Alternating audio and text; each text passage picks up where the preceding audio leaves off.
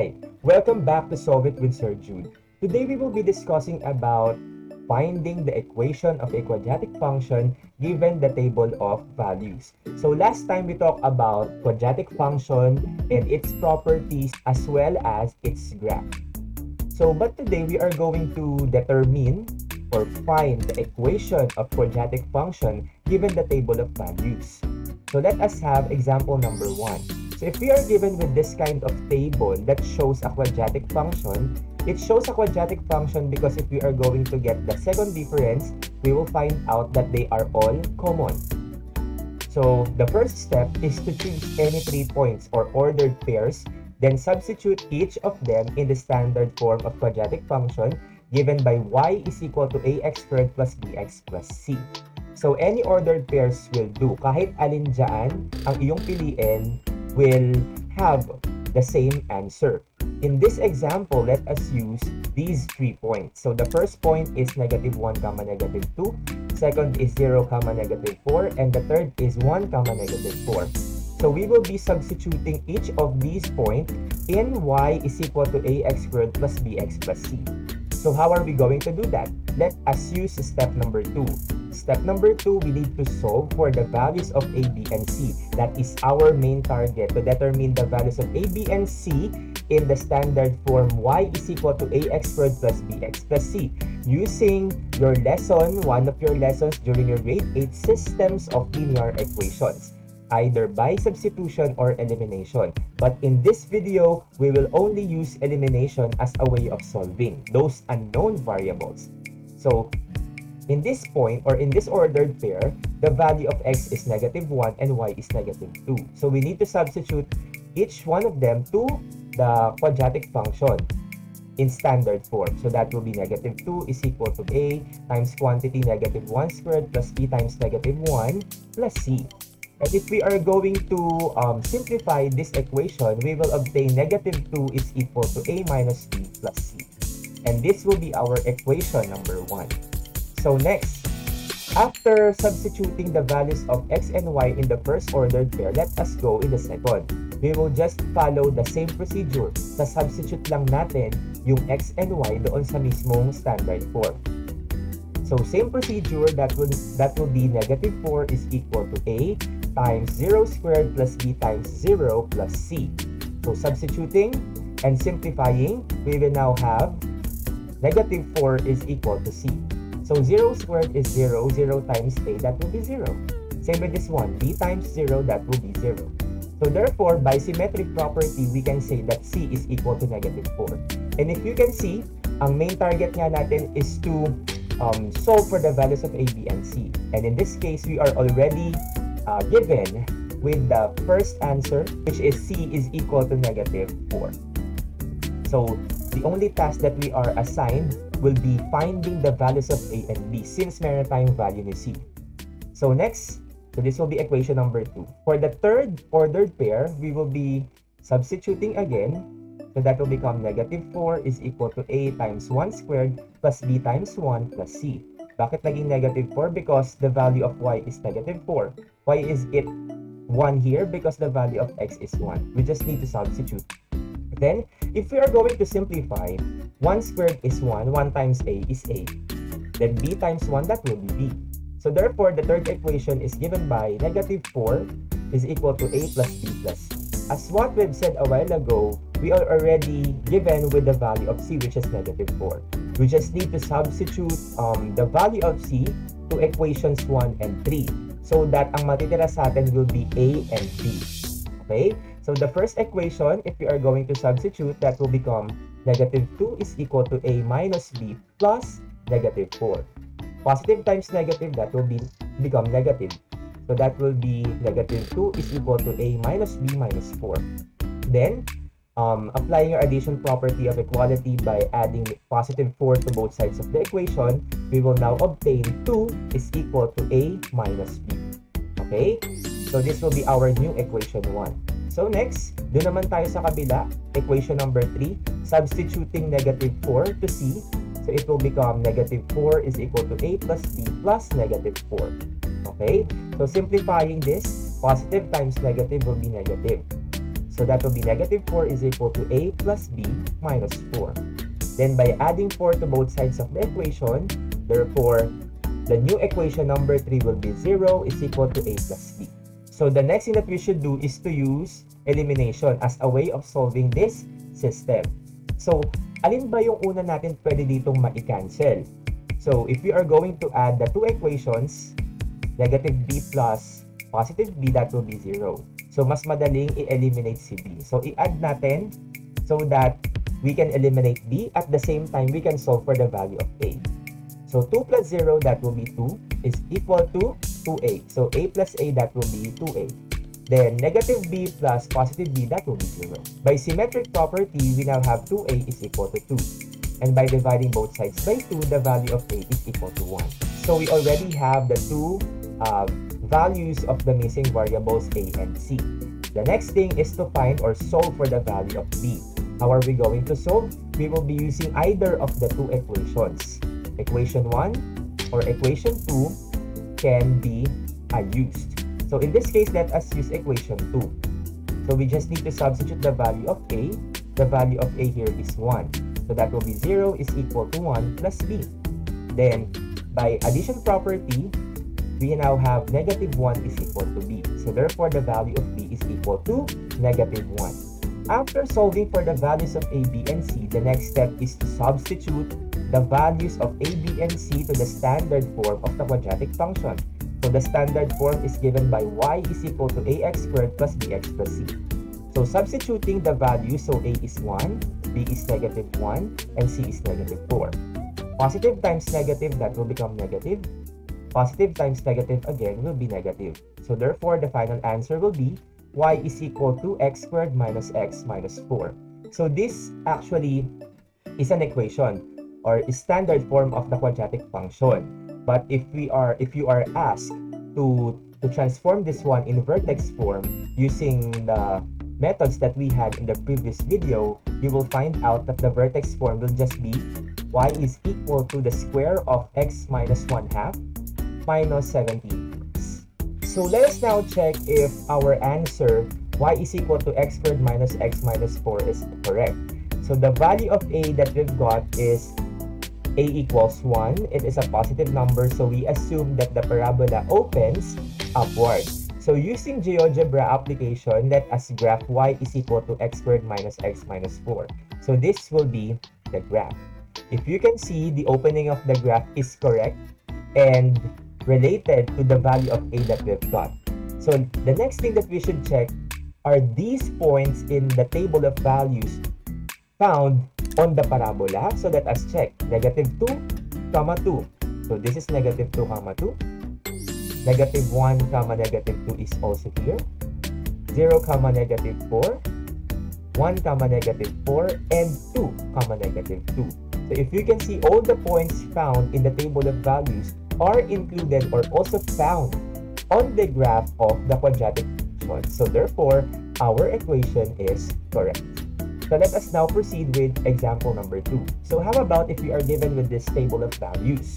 So we will still be using the same step. So the first step is to choose any point or ordered pairs, then substitute each of them in the standard form of the quadratic function. y is equal to ax squared plus bx plus c. So what are the points that we are going to use? You can choose any, but in this example, let us choose these three points. Okay, so the first point is 2 comma 3, the second is 3 comma 0, and the third is 4 comma negative 5. So substituting it to the standard form y is equal to ax squared plus bx plus c, what will be the result? So let us have it one by one. Okay. So upon substitution, we will be solving those values of a, b, and c by using the systems of linear equations. So let us substitute the first ordered pair 2 comma 3 the, the value of x is 2 and the value of y is 3 substituting we have 3 is equal to a quantity 2 squared plus b times 2 plus c.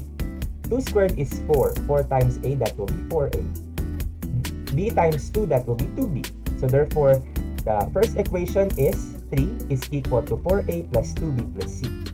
Then let us go to the second ordered pair So we are given with 3 comma 0. The value of x is 3 and the value of y is 0. Again, we need to substitute in the standard form. Thus, we have 0 is equal to a times quantity 3 squared plus b times 3 plus c. 3 squared is 9. 9 times a, that will be 9a. Then b times 3, that will be 3b. Therefore, equation number 2 will be 0 is equal to 9a plus 3b plus c. Next, for the third ordered pair, 4 comma negative 5, substituting each of the values, that will be negative 5 is equal to a times quantity 4 squared plus b times 4 plus c. 4 squared is 16. 16 times a, we have 16a. b times 4, we have 4b. So therefore, the equation number 3 will be negative 5 is equal to 16a plus 4b plus c. So if you can see, wala tayong nakuhang value ng mismong variable. So we will be using solving systems of linear equation using elimination. Let us eliminate c or the variable c using equations 1 and 2. There. So if we are going to subtract the equations, c minus c, that will become 0. Same with equations 2 and 3. If we are going to subtract them, we will eliminate the variable c. So let us first have equation equations 1 and 2. Okay, so there. So if we are going to subtract equations 1 and 2, we will change the sign of the subtrahend. All the terms here will change the sign. So this 3 will become negative. Same with this 4a, 2b, and c. So that will become negative 3 is equal to negative 4a minus 2b minus c. Then we proceed with addition. So that is the rule in subtraction. We need to change the sign of the subtrahend, then proceed to addition. So 0 plus negative 3, that will be negative 3, is equal to 9a plus negative 4a will be 5a. 3b plus negative 2b, that will be positive b. Then c plus negative c will be 0. So therefore, negative 3 is equal to 5a plus b will be our equation number 4. So if you can see, we are already narrowing down the equations by eliminating certain variable. So let us use equations 2 and 3. And let us eliminate c by subtracting again. So we will be changing the sign of the terms in the subtrahend. So therefore, we have 0 is equal to negative 8, 9a minus 3b minus c. Then, after changing the sign of the, the terms in the subtrahend, we will be proceeding with addition. Negative 5 plus 0 will be negative 5 is equal to 16a plus negative 9a will give us 7a. Then 4b plus negative 3b that will become positive b. Then c plus negative c will be 0. Therefore, equation 5 will be negative 5 is equal to 7a plus b. Okay. So next, we can eliminate b to get the value of a. How are we going to eliminate the value of b? So let us use equations 4 and 5. And if you can see, if we are going to subtract the equations, we can cancel or eliminate b. So let us do that. Let us apply subtraction. Again, we need to change the sign of the terms in the subtrahend. So that will become 5 is equal to negative 7a minus b. Then, after changing the sign of the terms in the subtrahend, we will be proceeding with addition. So, negative 3 plus 5, that will be positive 2, is equal to 5a plus negative 7a will give us negative 2a. b plus negative b will be 0. And by symmetric property, this equation 2 equals negative 2a will be negative 2a is equal to 2. Then we divide both sides by negative 2. Therefore, the value of a is negative 1. So we now solve for the value of a which is equal to negative 1. Next, let us solve for the value of b. How are we going to solve for the value of b? We will be substituting the value of a to either equation 4 or equation 5. So let us use equation 5 or negative 5 is equal to 7a plus b to solve for the value of a. So substituting the value of a here, we will now obtain negative 5 is equal to 7 times negative 1 plus b. Then, 7 times negative 1 will be negative 7. Then applying our addition property, so that will become negative 5 plus 7 Negative 5 plus 7, that will be 2. And by symmetric property, b is equal to 2. You can actually use equation 4 in getting the value of b by substituting the value of a. Okay, we will still be arriving with the same uh, value of b. So next, after getting the values of a and b, the next thing is to find the value of c. How are we going to find the value of c? We will use equation 1, 2, or 3 by substituting the values of a and b. Let us use equation number 1. So 3 is equal to 4a plus 2b plus c. And if we are going to substitute the value of a and b, we will now obtain 3 is equal to 4 times negative 1 plus 2 times 2 plus c. Then 4 times negative 1 will be negative 4. 2 times 2, that will be 4. Negative 4 plus 4, that will be 0. So therefore, 3 is equal to 0 plus c. So therefore, we will now have 3 is equal to c, which is by symmetric property, c is equal to 3. So after getting the values of a, b, and c, next step is to substitute the values of a, b, and c to the standard form of the quadratic function given by y is equal to ax squared plus bx plus c.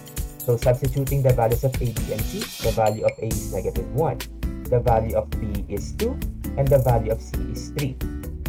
Simplifying this function further, we can now say that it is just equivalent to y is equal to negative x squared plus 2x plus 3.